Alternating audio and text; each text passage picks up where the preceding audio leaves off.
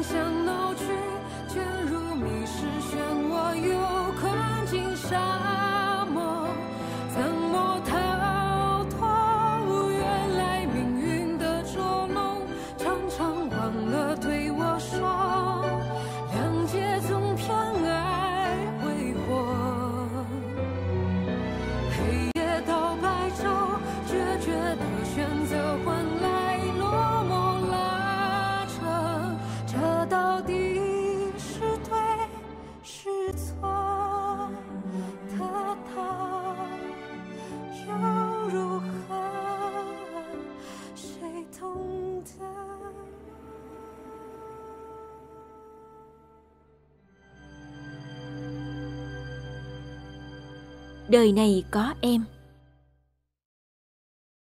Tập 17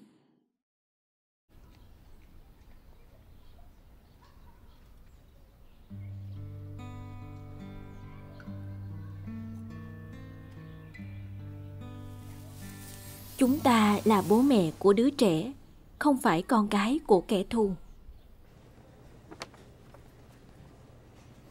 Đôi giày này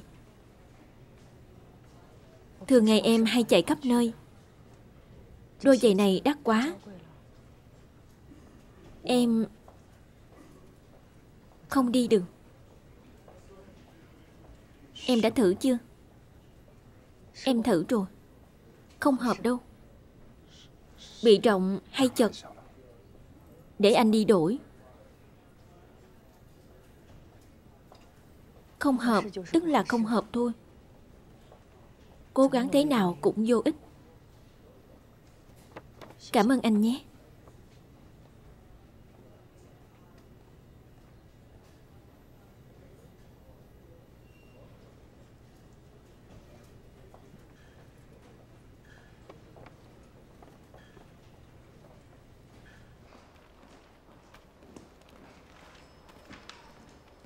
Lát nữa cô gửi cái này đi giúp tôi Dân sắp thịnh. Sếp nhất nói chiếc ấm này Nhờ anh ký tên vào đây với à Ông ấy mua từ một người thợ lâu năm Thay vì để ở nhà cho bám bụi Không bằng tặng cho người có duyên lại hiểu trà. Vậy nên sếp nhiếp bảo tôi mang đến tặng cho cô. Vậy thì ngại quá. Vậy nhờ anh cảm ơn bác nhiếp giúp tôi. Hôm khác tôi sẽ đến cảm ơn bác sau. Được, vậy chào cô Thư nhé. Anh đi thông thả. Tập đoàn Thánh Mỹ.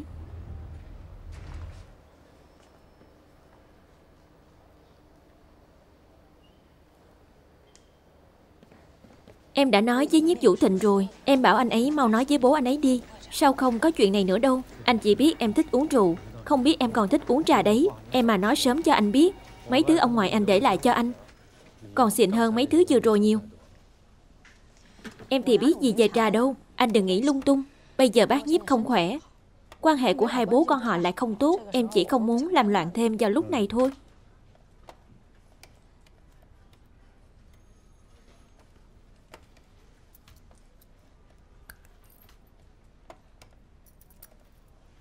Anh cầm đi. Em muốn đưa anh từ lần trước rồi. Lần sau anh đừng đứng đần ra đợi bên dưới nữa.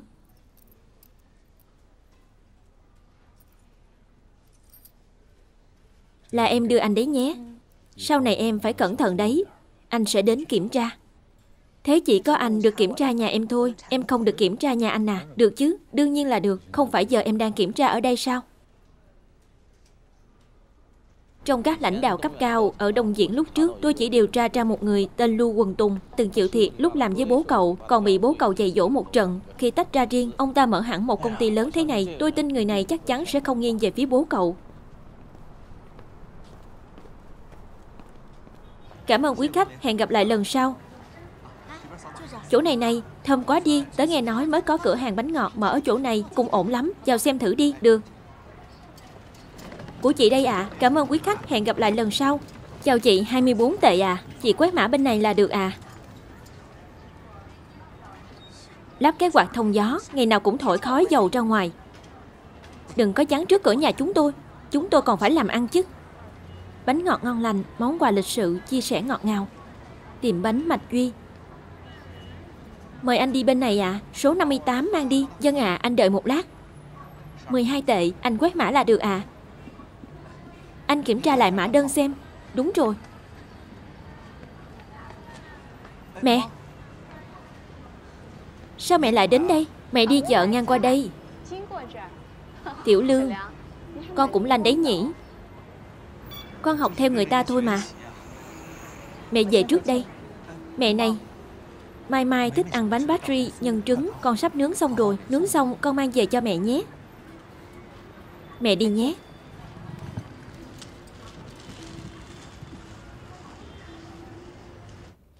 Bình Bình, cháu uống nước đi.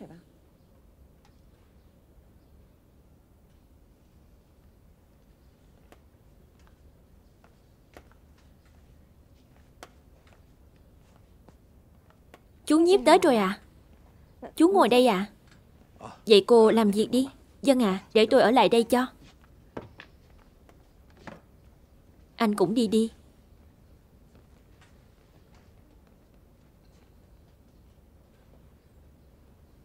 Bình Bình à. Cháu đang nghĩ gì thế? Cháu nghĩ gì đấy? Cháu đang nghĩ kế hoạch kiếm tiền à? Kế hoạch kiếm tiền cơ à? Đã nghĩ ra chưa? Nào cho ông biết giới. Dạo này chú Lương bận, Không đến thăm cháu. Cháu không nhập hàng được nữa rồi. Cháu vẫn đang nghĩ chuyện này à.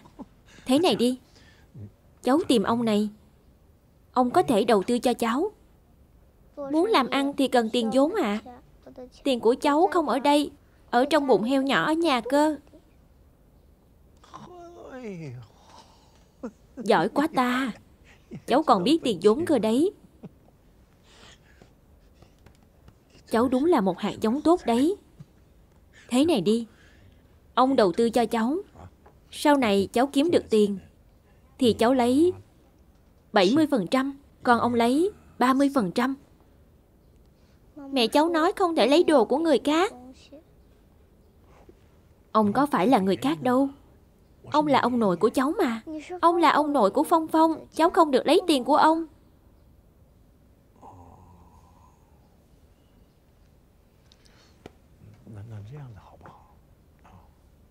Ông ấy. Bây giờ ông đau đầu quá. Bình bình dây tráng cho ông. Thế này này. Rồi ông trả lương cho cháu. Rồi cháu coi tiền lương như vốn của mình. Có được không?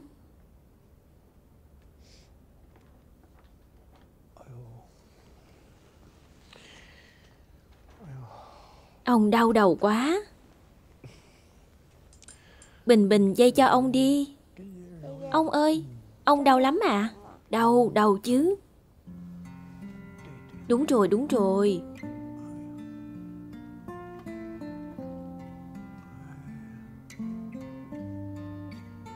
Thoải mái quá Thoải mái quá.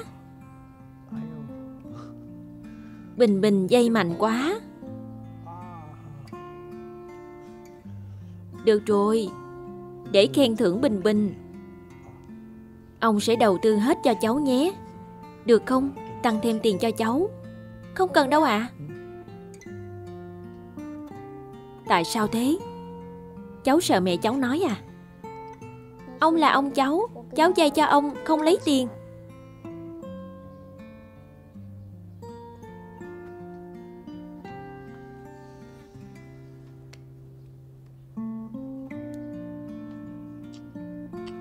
Bé ngoan. Đúng là đứa bé ngoan.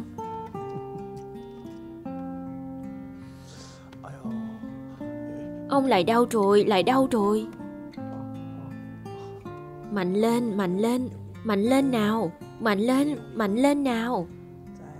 Mạnh lên nữa nào. Sếp Thịnh, Phòng pháp chế đã duyệt hai hợp đồng này rồi. Anh xem đi Nếu không có vấn đề gì thì có thể ký luôn. Được.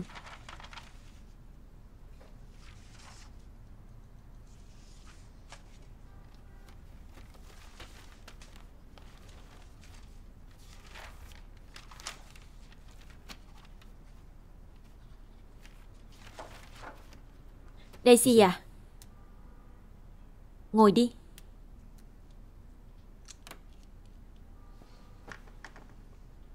Dạo này Bình Bình sao rồi? Cứ thế này Thì Cũng tạm ổn. Một mình cô nuôi con vô cùng khó khăn. Cũng có những lúc khó tránh khỏi Sẽ có những vấn đề đột xuất. Nếu cô không thể tự giải quyết vấn đề thì có thể cho tôi biết.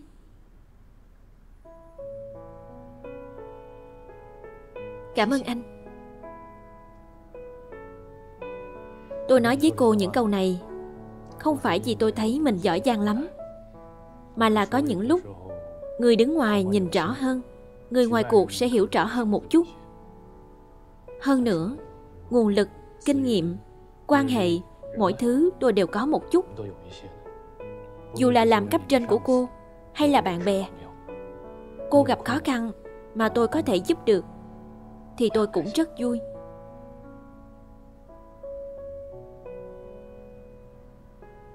Cảm ơn sếp Thịnh. Lúc nào cô cũng khách sáo như vậy. Được rồi, cô làm việc đi.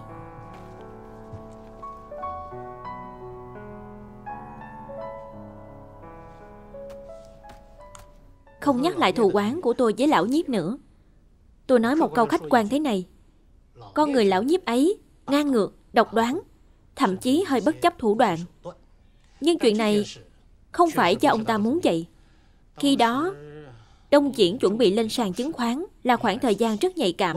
Báo chí đưa tin, dư luận rần rần. Trong cuộc họp cấp quản lý, ông ta mắng người phụ trách PA một trận.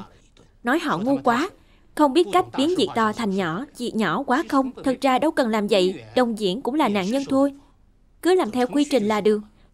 Lúc đó lão nhiếp đập dở một chiếc cốc, hất hết trà lên người tôi, nên tôi nhớ rất rõ.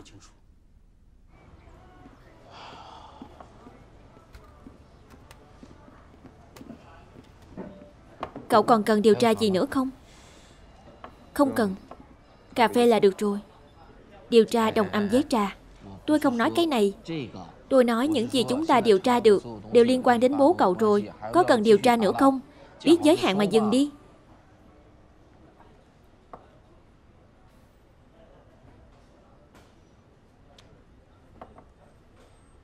Có phải cậu biết điều gì mà không nói với tôi không? Không phải tôi. Tôi chỉ nghĩ là Lỡ như điều tra thấy bố cậu có vấn đề gì thật Thì cậu tính sao dù sau đó cũng là bố cậu mà Dù có thế nào. Hai người cũng là bố con Máu mũ ruột thịt. Có đánh gãy xương thì vẫn liền gân mà. Người sống trên đời Phải có tình cảm Có tình thương đấy thôi. Thấy đúng sai thì sao? Tôi không muốn làm như vậy. Chuyện này nên là thế nào thì là thế đó. Tôi hiểu rồi, hai người các cậu, người này cố chấp hơn người kia. Không phải, không phải tôi không tin tưởng bệnh viện chúng ta. Ông nói xem căn bệnh của Bình Bình. Ông tại sao cứ chần chừ mãi không làm phẫu thuật thế? Các ông nói đang theo dõi, theo dõi, theo dõi. Các ông theo dõi đến bao giờ mới xong? Các ông còn không phẫu thuật cho nó Tôi đã liên lạc với bệnh viện tốt nhất ở Bắc Kinh rồi Tháng sau là người ta phẫu thuật được luôn đấy Lúc đó Vũ Thịnh sẽ đi cùng thằng bé Ông hồ đồ quá rồi đấy à không phẫu thuật cho thằng bé không phải vì điều gì khác Mà là vì tình trạng sức khỏe của cậu bé không ổn Tăng huyết áp phổi. Ông đừng nói là đến Bắc Kinh. Ông lên mặt trăng cũng vô dụng. Không có tí kiến thức nào hết. Tôi hiểu y học hay ông hiểu.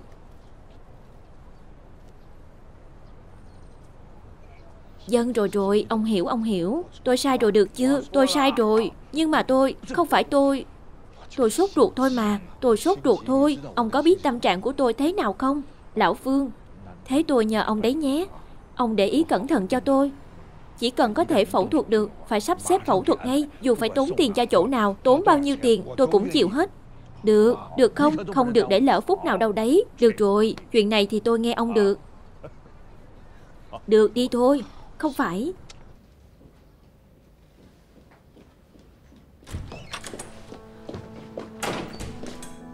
Mẹ ơi Chị mang món gì đến thế? Hai người ăn trước đi. Chị có chút chuyện đi tìm bác sĩ nhiếp đã. Lát nữa mà có người đến thăm Bình Bình Hoặc muốn đưa nó đi Thì em để ý giúp chị nhé. Có chuyện gì thì gọi điện cho chị. Được ạ. À? Bé cưng ăn ngoan nhé. Chị sao thế?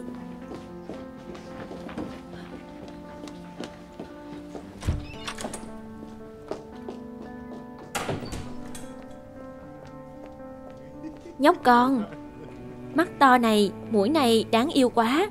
Đáng yêu đúng không? Y hệt anh luôn. Đương nhiên là giống rồi. Con tôi không giống tôi thì giống ai? Cũng giống đấy chứ. Ghét thật. Đây là lúc mới cho bú xong. Mỗi biểu cảm của nó đều khác nhau. Chứ gì nữa, anh nhìn đi. Nhìn cái mũi này, đúng là giống anh thật. Đúng là giống là cái kiểu gì? Con tôi mà. Thằng bé có phải cháu tôi không? Tự cô biết mà. Tôi thật sự không hiểu được. Sống sung sướng thì không thích. Cô nhất quyết bắt thằng bé khổ sở với cô. Để làm gì? Tại sao em không thể nói cho anh biết Năm đó đã có chuyện gì? Nếu em cho anh biết, Chúng ta có thể cùng nhau đối mặt. Em cũng sẽ không sống như bây giờ. Có những lúc, Người đứng ngoài nhìn rõ hơn, Người ngoài cuộc sẽ hiểu rõ hơn một chút Nếu giúp được cô. Tôi cũng rất vui. Biểu cảm đa dạng quá, Cũng bụ bẩm quá ta. Vừa mới chào đời mà, còn lớn nữa. Khóc rồi à.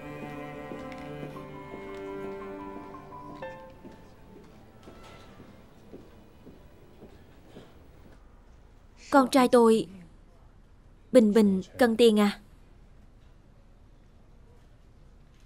Ông nội nó đến tìm tôi, Nói muốn đưa thằng bé đi chữa bệnh. Vậy thái độ của bố Bình Bình thì sao?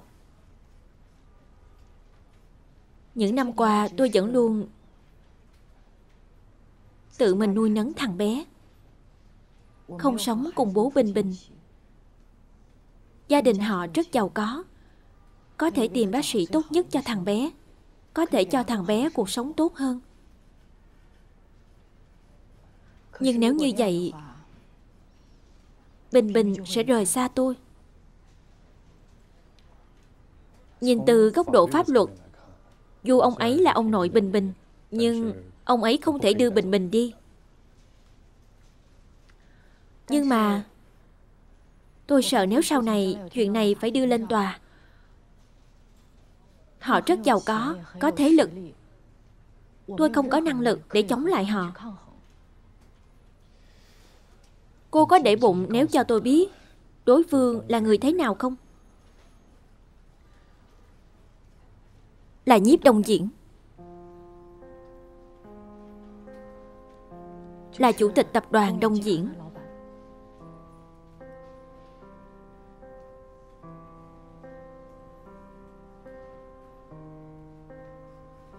Xin lỗi sếp thịnh. Hai người quen nhau à? Quen chứ? Nhưng chỉ qua lại công việc thôi. Vậy ý cô là Nhiếp Vũ Thịnh là bố cậu bé à? Đúng vậy.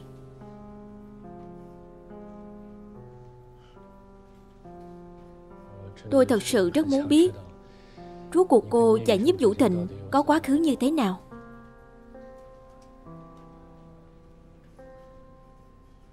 Daisy à Sáng nay tôi đã nói với cô ở đây rồi đúng không? Cô có thể tin tôi. Có chuyện gì thì cứ nói ra.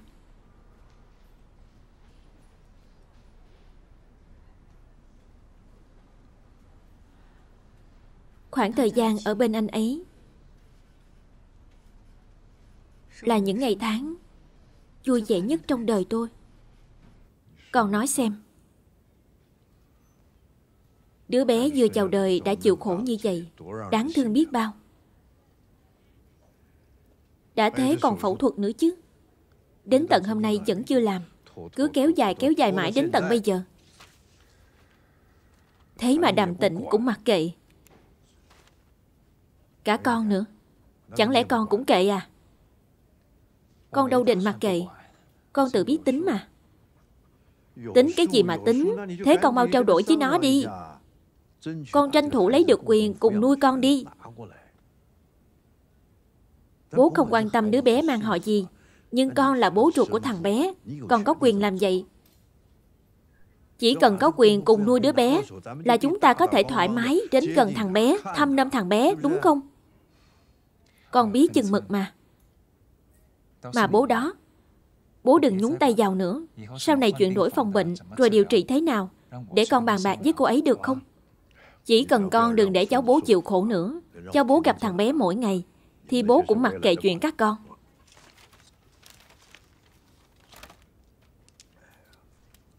Con nhanh lên đấy nhé. Con đi trước đây.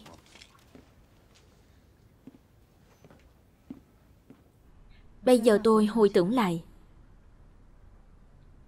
Hy vọng lúc đó tôi Không quen nhiếp vũ tình. Nhưng cô có từng nghĩ Cô làm vậy cũng không công bằng với nhiếp vũ thịnh không? Tôi biết làm vậy không công bằng với anh ấy. Nhưng lúc đó tôi không còn cách nào khác. Tôi còn quá trẻ. Xung quanh tôi không có ai để tôi có thể trao đổi. Chỉ cho tôi biết phải làm thế nào. Tôi nghĩ rời xa anh ấy đã là cách bảo vệ anh ấy tốt nhất rồi. Thêm chuyện bố tôi nữa tôi không thể chấp nhận anh ấy được. Theo tôi nhé. Thật ra nếu cô chấp nhận sự thật này, nuôi dưỡng bình bình cùng nhà họ nhiếp, thì đây là cách làm lý trí nhất. Dù sao nhiếp vũ thịnh cũng là bố đứa bé, anh ta có quyền lợi này. Không thể được. Tôi có khúc mắc trong lòng. Tôi không thể đối mặt với người bố đã mất của tôi. Thế thì được rồi. Giới hiểu biết của tôi chỉ nhiếp đông diễn, Ông ta chắc chắn sẽ không bỏ cuộc. Daisy à, cô phải chuẩn bị sẵn sàng Để đánh một trận ác liệt. Với tình hình hiện tại thì Nếu tôi không tính nhầm thì ban đầu họ sẽ không nhắc đến chuyện quyền nuôi con với cô ngay. Họ sẽ rất tốt với cô. Rất thân thiện, rất khách sáo. Sau đó yêu cầu được gặp Bình Bình nhiều hơn, quan tâm đến cuộc sống của thằng bé, tham gia vào việc điều trị của thằng bé, cho thằng bé tiền chữa trị, tiền sinh hoạt, thậm chí là dành một phần tài sản của họ cho cô và thằng bé. Tất nhiên là những hành động này tưởng chừng rất có thiện ý, nhưng trên thực tế là đang dỗ về cô là đang từng bước hình thành sự thật về quyền nuôi dưỡng, đặt cơ sở để sau này cố gắng giành được quyền nuôi con. Nhiếp Vũ Thịnh cũng đồng ý cho họ làm như vậy. Tôi không biết Nhiếp Vũ Thịnh có làm như vậy hay không. Nhiếp Đồng Diễn nhất định sẽ làm vậy.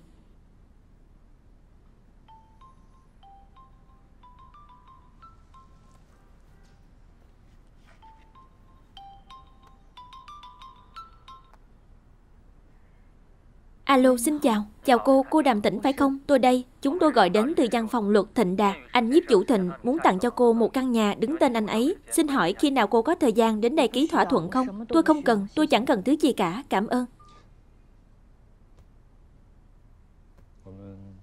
Chúng ta hãy xem. Tiếp theo sẽ xảy ra chuyện gì?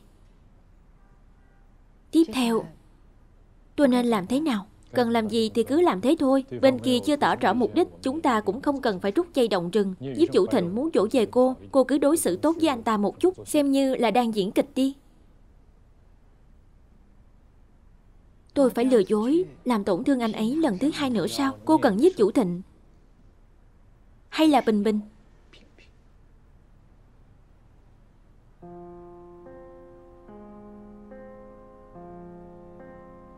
Đàm tĩnh một người phụ nữ vì con mình có thể trở nên mạnh mẽ đến mức nào? Không cần tôi phải nói. Cô biết rõ điều đó hơn tôi. Cô phải tin vào bản thân mình, rằng cô làm được.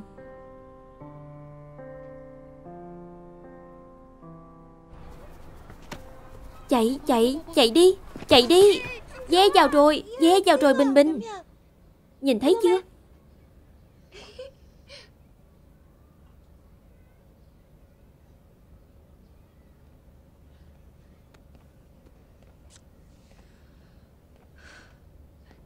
Bác sĩ nhiếp.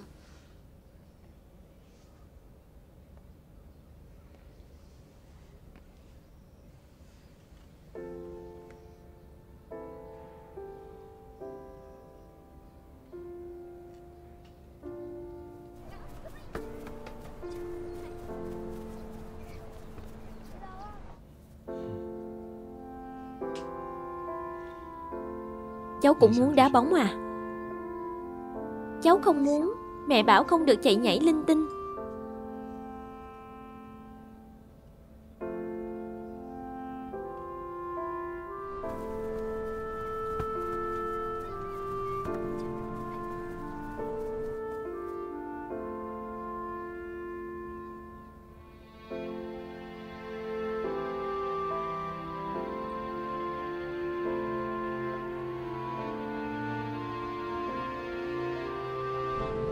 Các điều khoản pháp lý có liên quan.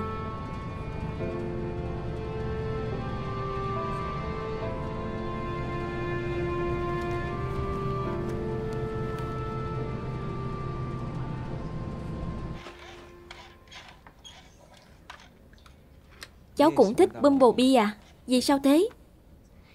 Vì Bumblebee mạnh nhất Oai phong nhất. Thế cháu có biết Bumblebee mạnh nhất ở điểm nào không? Động cơ của nó là mạnh nhất. Xe ô tô chạy được, bay được Đều là nhờ có động cơ. Cháu cũng có một cái.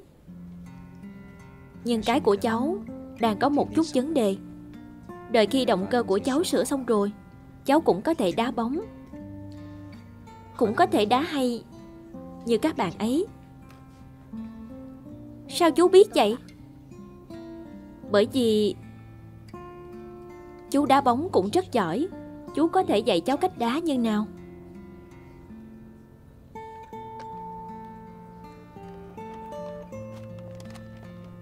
Nào Bình Bình.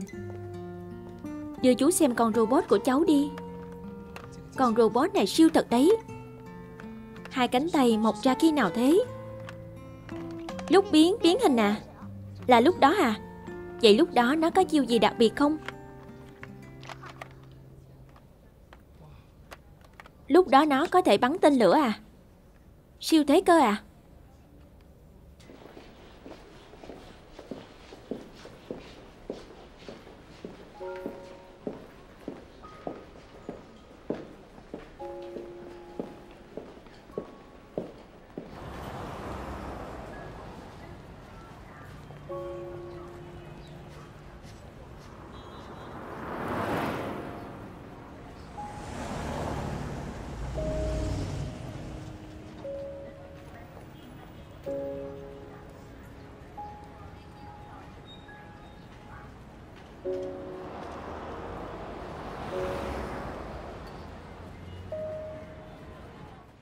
Cá chiên sốt. Trứng xào cà chua, Thêm món cải bó xôi xào. Dân anh chị đợi chút. Ăn nhiều cải bó xôi, Giúp bổ khí huyết. Dân. Dân, cảm ơn anh.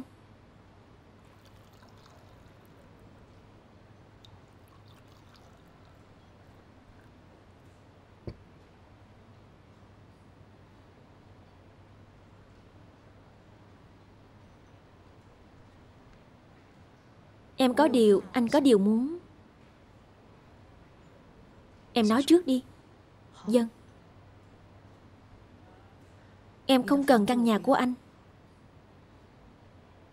Con đường em đang đi Là ban đầu tự em lựa chọn. Anh không cần cảm thấy trong lòng anh mắc nợ em điều gì Cũng không cần nghĩ cách bù đắp cho em. Điều duy nhất bây giờ em nghĩ đến là chữa khỏi bệnh cho Bình Bình, cho nó một tương lai khỏe mạnh.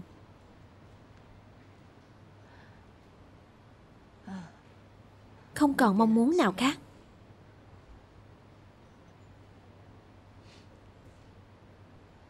Rất tốt. Ý ý của anh là em có thể nói ra những điều trong lòng với anh như vậy rất tốt. Sau này em cũng hãy như vậy. Nghĩ đến điều gì thì cứ nói với anh. Anh cũng sẽ thành thật với em. Chúng ta đừng Vì muốn tốt cho người kia Mà che đậy, giấu giếm Làm tổn thương lẫn nhau nữa.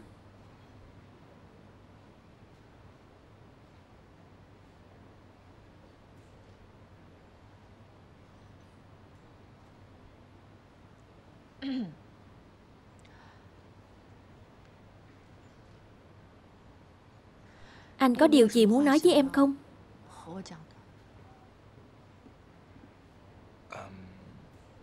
Bố.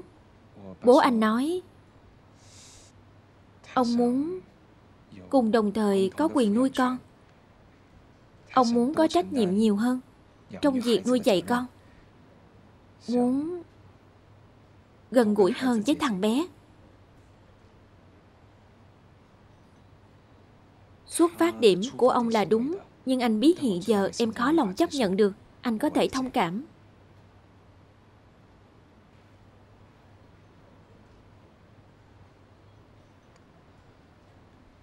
Còn một câu nữa. Lần trước em nói,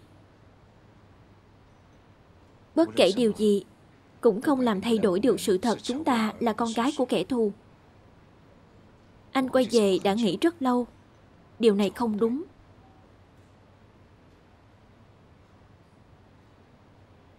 Sự thật là hai chúng ta không phải con cái của kẻ thù, Mà là bố mẹ của Bình Bình.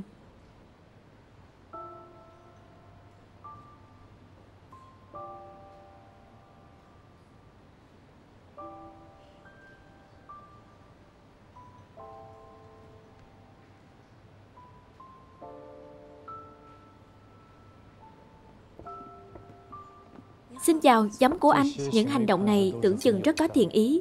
Nhưng trên thực tế, giám của em, dân, là đang dỗ về cô. Là đang từng bước hình thành sự thật về quyền nuôi dưỡng. Đặt cơ sở để sau này cố gắng giành được quyền nuôi con.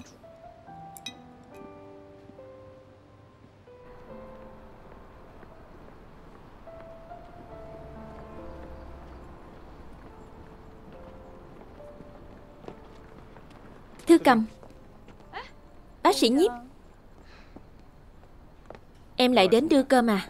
Em đến thăm bác nhiếp. Em sợ bác ấy nhớ em. Đúng rồi.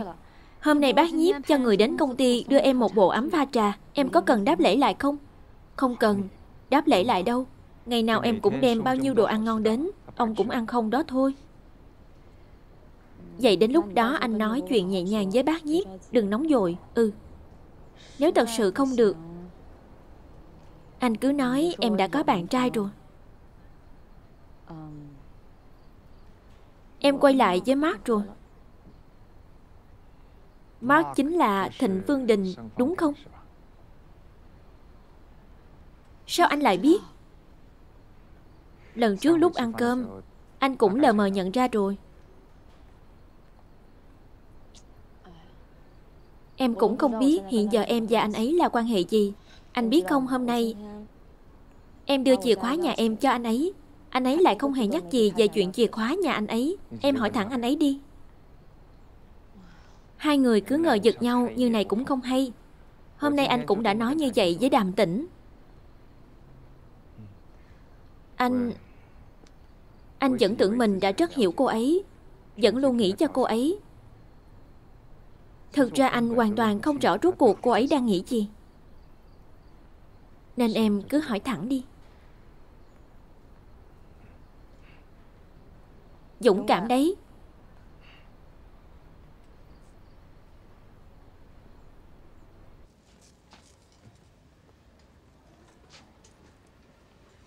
Xong rồi xong rồi. Nào Dân cảm ơn. Ấn một lúc. Xong rồi xong rồi. Linh này Em về đi Hôm nay đã ở đây cả ngày rồi, Ngày mai còn phải nhờ em đến trong giùm nữa. Dân được, Đằng nào ngày mai em cũng phải đến bệnh viện một chuyến nữa. Em khó chịu ở đâu à?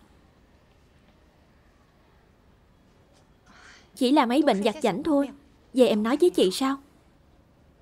Ừ. Nằm xuống nào. Còn chị đó, sao lại không vui rồi? Không muốn nói thì chị đừng nói dội. Trong em cả ngày ngáo ngáo ngơ ngơ thế thôi, Nhưng khả năng quan sát cơ bản thì em vẫn có đấy. Kể từ hồi quen chị, Em cứ có cảm giác chị chưa một ngày nào thật sự vui vẻ cả. Đến lúc nào đó muốn nói ra, Chị cứ tìm em nhé. Được. Nghỉ ngơi sớm đi nhé. Vậy chị ngủ ngon nhé. Bye bye. Bye bye. Bye bye.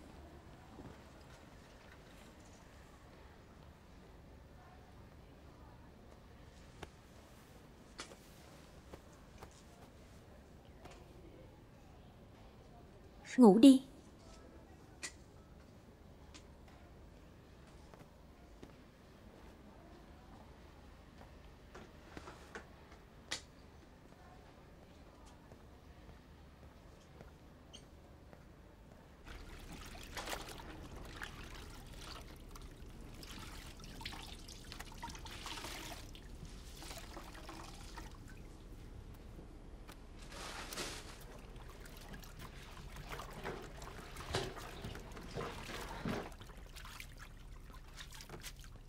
Sự thật là hai chúng ta, Không phải con cái của kẻ thù. Mà là Bố mẹ của Bình Bình.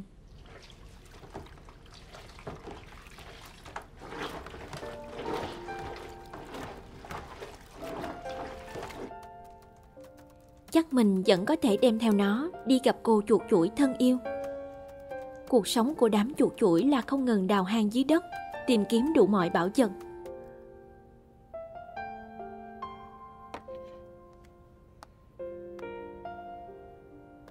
Làm thế nào để giành được quyền nuôi con? Các quy định pháp lý về quyền nuôi con. Ông Cổ phong phong.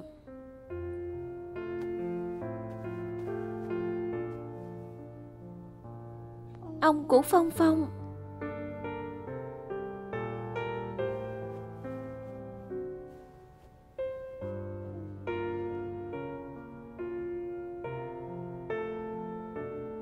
Theo những gì tôi hiểu về nhiếp đồng diễn ông ta nhất định sẽ không chịu từ bỏ. Chúc bạn sinh nhật vui vẻ. Chúc bạn sinh nhật vui vẻ. Chúc bạn sinh nhật vui vẻ.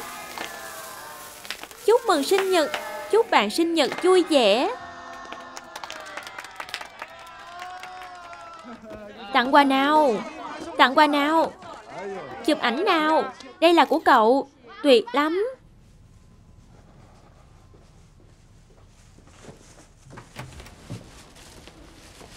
Phòng bệnh 617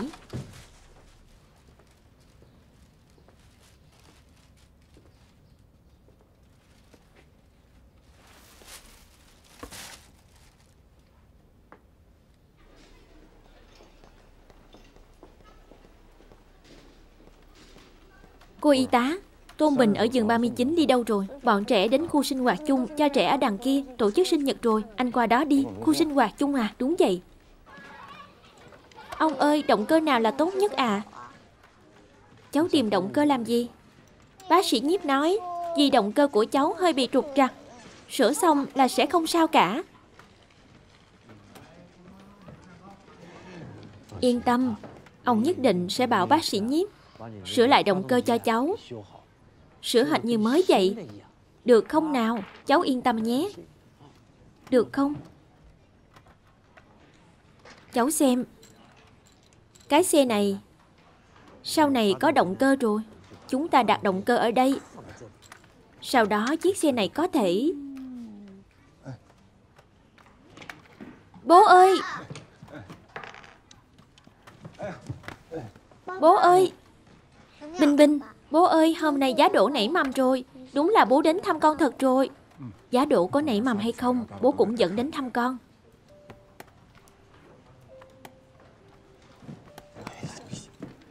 Không sao, lát nữa bố đem giá đỗ về nhà, chúng ta sẽ ăn được không? Nào. Nào Bình Bình, cậu đến đây làm gì? Con đứng dậy đi, mau lại đây, con để yên đó, nào nào. Em phải qua đó.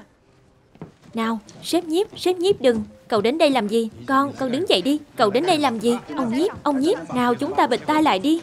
Anh Tôn, ông bỏ tay ra, ông bỏ tay ra. Sếp nhiếp, anh Quân, ông làm cái gì thế hả? Anh Tôn, cậu định làm gì? Tôn mình họ Tôn, nó là con trai tôi. Tôi nói luôn cho ông biết, có trả bao nhiêu tiền, tôi cũng không bán gia đình mình. Nghe rõ chưa hả? Cậu chăm sóc thằng bé được lúc nào hả? Cậu chăm sóc nó được bao lâu rồi? Tôi nuôi nó, Cậu nuôi nó, Cậu nuôi cái gì hả? Gọi bảo vệ đến. Đừng ma đừng ma Đừng sợ, Ông bố giả mạo như cậu có tư cách gì để lên tiếng. Ông nói gì thế hả? Cậu là ông bố giả mạo đó. Ông nhiếp Thằng bé có quan hệ gì với ông? Đây là con trai tôi. Ông biết cái gì chứ? Thằng bé còn đang ở đây đấy. Nếu cậu còn, Ông đừng chỉ tay vào tôi. Ông nhiếp Ông về trước đi. Ông về trước đi ạ. À. Cô đừng có can thiệp bừa. Cô có biết đây là ai không? Đây là kẻ thù của tỉnh. Cậu đừng có mà nói bậy. Ông nhiếp Đừng Đừng để thằng bé bị thương. Ông nhiếp, ông về trước đi ạ. À. Ông về trước đi, Cậu đừng có nói bậy, Hiểu chưa? Ông cứ làm như thế đi, Nói ông nghe, Để ông sống đến tận bây giờ là nể mặt ông lắm rồi. Đừng đừng mà Gọi bảo vệ Gọi đi gọi đi. Ông bỏ tay ra, Bỏ ra.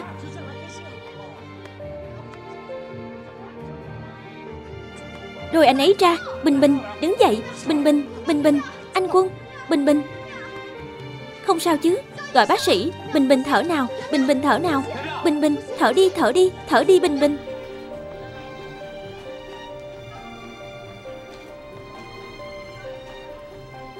ICU tổng hợp.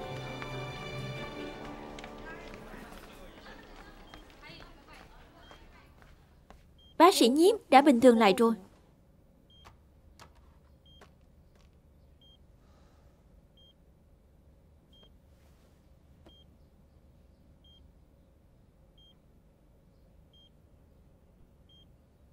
Anh nổi giận với hắn ta làm gì? Tên côn đồ. Cái thứ gì không biết? Hắn nhồi vào đầu thằng bé Cái gì không biết? Cậu xem làm đứa trẻ hoảng sợ kìa. Hắn ta là tên côn đồ. Anh còn so đo với hắn ta làm gì? Có đáng không? Cậu gọi điện cho luật sư Kiều Bảo anh ta mau chóng lo chuyện này đi. Dân, mấy hôm rồi mà vẫn chưa thấy có chút động tĩnh nào. Đúng đúng rồi, đúng là mấy hôm không liên lạc rồi. Mau lên, mau lên. Dân, dân, mau lên, mau lên. Dân,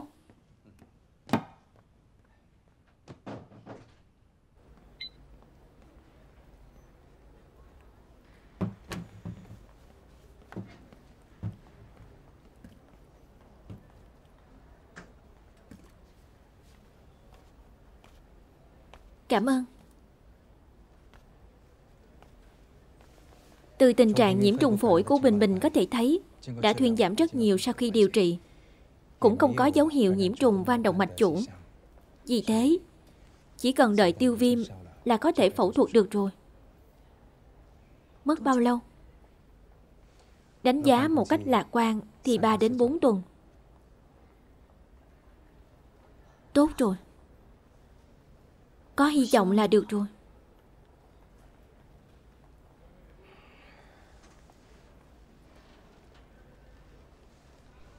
Anh Muốn để chủ nhiệm Phương thực hiện ca phẫu thuật này.